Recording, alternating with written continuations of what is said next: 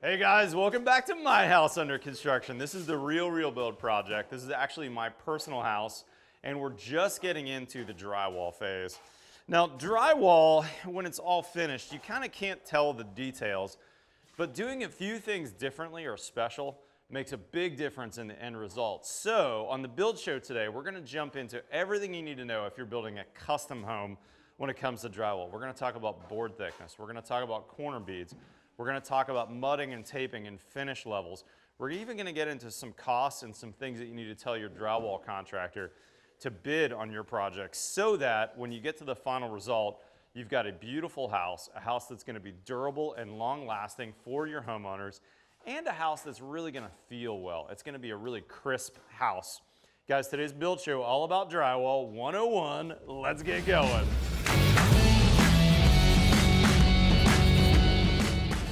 All right, guys, let me introduce you to Junior Coronado. Junior is a second generation tradesman.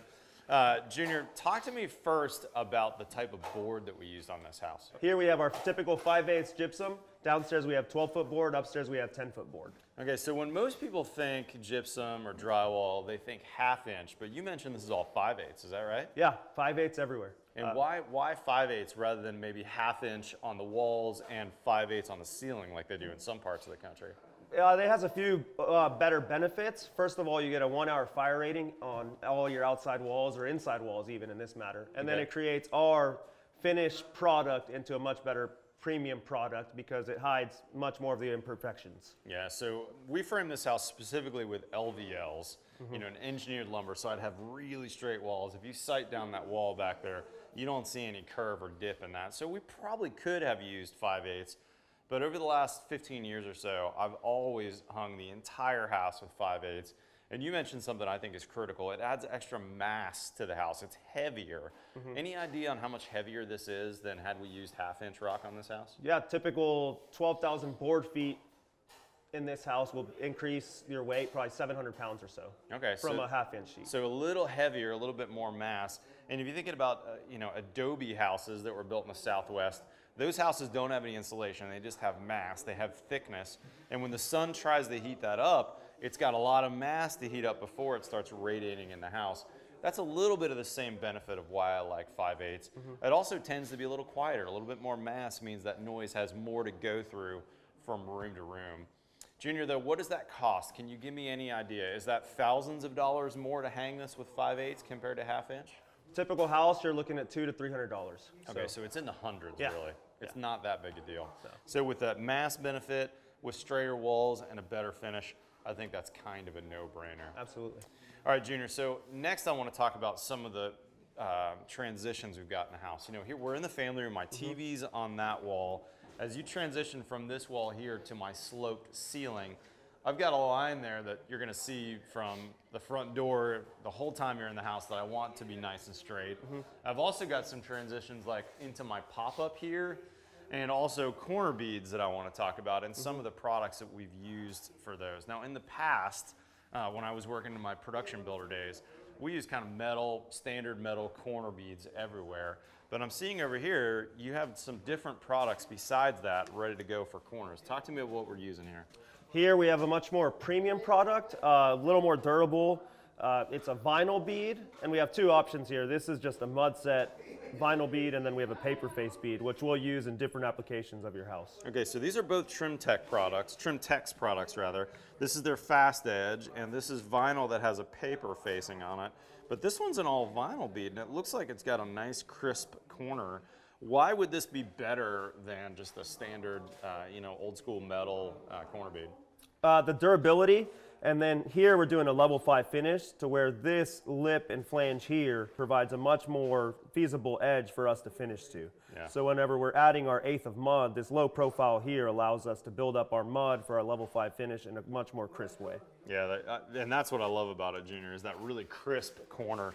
So when you set this, are you pulling out the compressor, stapling this on, nailing this on? How's this actually getting set onto the corner? So this, we just mud set. Uh, there's two forms to do it. You can use a hopper, or mm-hmm. the guys can just trowel their mud on first and then set it. So no tools, low maintenance on our end. Uh, the guys aren't having to carry around 15 different things.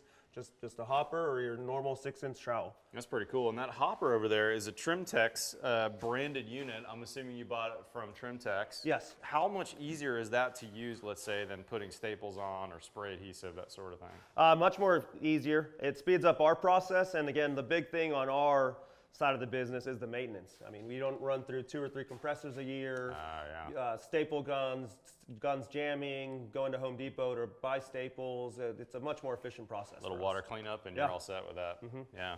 Now, where are we using or why are you choosing the vinyl compared to this paper uh, faced one? So we're using the vinyl everywhere except for, like you mentioned earlier, this off angle up here. Okay. Uh, the Fast Edge is a much more flexible product Okay. to where you can close the angle and open the angle as needed within a tolerance. Yeah, so with this, you know, greater than 45 degree angle, you can kind of make this fit whatever angle Correct. you need. Yeah. Yeah, that's interesting. You've got a couple of other profiles that I wanted to ask about. So this, what's this one called again?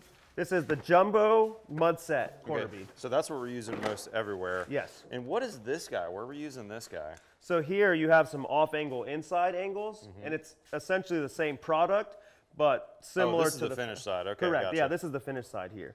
So it's, it's essentially the same as the Mud Set Jumbo bead, but it's for your off angles and inside angles. Okay, so we're using that on this angle right behind us here. Uh-huh. And how do you set this, Junior? Same product, same. Uh, you can use a hopper if you'd like, but what we do traditionally with this is we'll just trowel our mud on, set a laser up, and make sure that the bead is nice and straight on your off angle. Love it, man. I actually saw your guys set up the laser earlier. They're, they're using that laser to get uh, all of those um, corners correct. Yeah. But how are you setting up the laser when you do this inside corner? Same thing, you're just putting a laser on the inside and then setting this to it? Yes. Because this comes in what, 10 foot sections? 10 foot sections. Okay, and we've got a, I don't know, 18 foot run, so you're gonna have a joint in there. So having that laser set up makes a lot of sense. Yes, of course. That's gonna be great.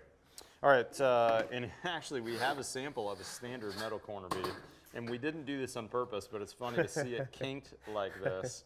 Uh, this is what I used for years in the production builder days. And one thing that's interesting about metal versus this vinyl is I think that in my house with as many kids that I have, a dog running around, I'm definitely gonna get some, some dings on my corners. You know what would be kind of fun, Junior? Let's do one corner in metal and one corner in this vinyl bead from Trimtex, and let's beat on a little bit. Think Yeah. you can set that up for me? Yeah, that'd be great. All right, friends, my master bedroom. Junior set up this corner with his guys for me. Uh, so we've got two different corner beads. Junior, you know which is which off the top of your head? This is just your run of the mill metal 90 degree corner bead. Okay, so you're seeing that metal poke through. That's how you know. Um, so that's metal corner bead, and then it looks like we've got a break right here, and then this is. This is your low profile jumbo mud set vinyl Trimtex bead. All right, man, go for it. Oh no, do the honors. You're gonna make me do the honors. It's my master bedroom. This feels You're- wrong. you're- you're- I know we can fix it, but it still feels wrong. Your house. All right, I'm gonna, I, I'm gonna calibrate to the light uh, Happy Gilmore tap, tippity tap it in, and let's see what happens. So this is the metal. Oh, yes. that didn't take much at all, did it, dude? You can see that metal deformed. Oh, and we also split it up here too. Yeah. Now this had one coat of dried mud. The guys just put a second coat on. Oh, a hard hit. That looks bad. Oh man. All right, so I went tippity tap on the first one, just so short tap. Not bad. Pretty good. I don't see any deformation. Still not bad. Pretty All right, good. a little harder. All right, so we, we broke the mud on that, but that mud is still wet. The corner's still straight. The corner's still straight. I think that could be fixed. Yeah, even if we had to fix it, just a little bit of hot mud or quick set, and that's it. Yep. Let's try one slightly harder. Dude, Wow. I, I hit that really hard, and that barely moved. Wow. That's impressive, man. That's hardly moving. No, I did. Oh, look, feel over here. I, I made it come out a little bit on this side. The mud gave way. In fairness, though, this has only got one coat of mud on it. It doesn't truly have its next block coat, right? Yeah. Uh, of mud dried yet. So it might actually do better. But I'll tell you, just based on this corner right here, this is a no-brainer. Yeah. I mean, it stayed square throughout, even you hitting it pretty well. And I mean, we can see down here, this fixing this is going to take you a, A few long time. hours cutting this out. I mean, this would just take a matter of minutes and some hot mud. Yeah. Pretty awesome test. Yeah. All right, Junior, I see a couple other things. What are these two uh, pieces right here? So here, there's a few odds and ends at your house where we're able to use some cool products. Uh, this is a jumbo L bead. So if you're familiar to the drywall trade, you know what an L bead looks like. This is just an extreme buildup on that same product. Okay, so L bead, let's, uh, for these guys who aren't familiar with that, this is where we've got a drywall return on a window, right? Where we're doing inside corners. Uh, my skylights have a drywall return on them, but most of my house is getting trimmed where I'm, I'm gonna do a wood uh, interior jamb and then a wood casing on the outside. But like in my pop-up up there, that would be a perfect spot to do a drywall return. No one's gonna ever see those windows. They're kind of hidden up in that pop-up. So instead of doing the traditional drywall on the inside jamb and then doing, let's say, a tearaway bead, how does this work? So this, we would just sheetrock your return, and then we set this from the front side. We mud the front side, but we don't have to do any work to your return side. Ah, so there's no mudding going on here. Correct. The painter's gonna come, he's gonna put a bead of caulk between this and the window, paint this surface, and you're done. Yeah, that's it. That's kind of cool. That would sure make a drywall return easy, wouldn't it? Yeah, much more efficient than us having a finisher up there for a few hours or you having to get a trim carpenter up there. Now, uh, Junior, I noticed in a couple places on the ceiling the word Madera.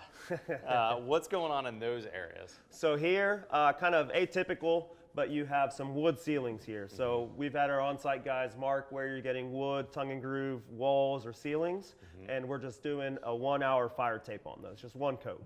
Yeah, so in this kitchen ceiling, where Ma- Madera means wood in Spanish, by the way, I actually would prefer not to go to that level five finish mm-hmm. because when the carpenter comes now, with the, everything just fire taped, it's really easy to see where all the joists are mm-hmm. above that. Had we gone to level five and primed the ceiling and then put wood on, it's that much harder for the carpenter when he shows up. Plus, honestly, you don't need to go to that level if it's going to get covered with wood. So in this family room, or pardon me, in this kitchen space, in my laundry, on some of these other walls that I know are going to get wood. I spoke with Junior ahead of time. That also saves me money as the homeowner because I don't need him to spend an extra three hours finishing this ceiling when it's not necessary. You know, the one thing we didn't talk about already was Quiet Rock. Okay. Um, we have a couple of special walls in the house that got hung with this board that has kind of a light bluish uh, uh, kind of face on it. What is that, Junior? So that is Quiet Rock Easy Snap is the one we use here, and it's just a sound deadener, sound preventer, whatever you want to call it, but it reduces vibrations through the wall um, in the gypsum product. Yeah, so I made a video that I'm not sure where it'll publish on this, so look for that in the link in the description on uh, doing all the details of that between my daughter's bedroom and my boy's bedroom. But you'll notice that we use that upstairs in between two kids' bedrooms. We use it here in the family room between the spot where my TV is going to be and the wall that separates my master bedroom. We also used it on the exterior walls in my master bedroom. Any idea on cost differential on that? Is there any uh, guidance you can give us on uh, on those those products? Yeah, there's uh, not a substantial cost, but there is an increased cost, maybe 75%, but you're getting a much more premium product in how the noise transfers through the walls. One thing we'd recommend is if you're going to do it on a wall, use it on the one that has less penetrations. Yeah, for sure. That's right. That's a great tip.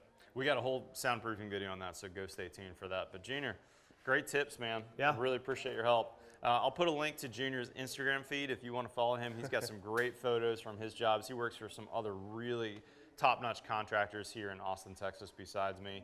Uh, hopefully you learned something on Drywall 101. I'll also put a link to some of these Trimtex products uh, we showed today. They have way more than this. This is just a small part of their catalog.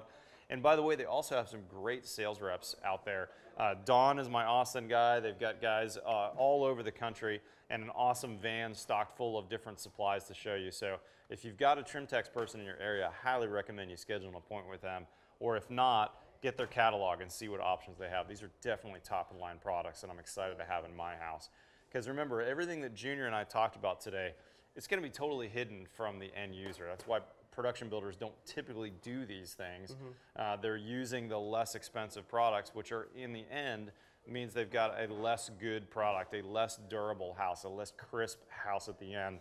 But by spending a little bit of time and effort talking to your drywall contractor ahead and saying, hey, what can we do to make sure my house has the good stuff in it? That's all it takes to get a much, much better house. And as we talked about, these are not crazy expensive. Uh, as a for example, um, this Trimtex box right here that has this bead in it that we're using, Mm-hmm. can you give me any idea on differential cost between this and like standard metal corner bead? Typical house under $100.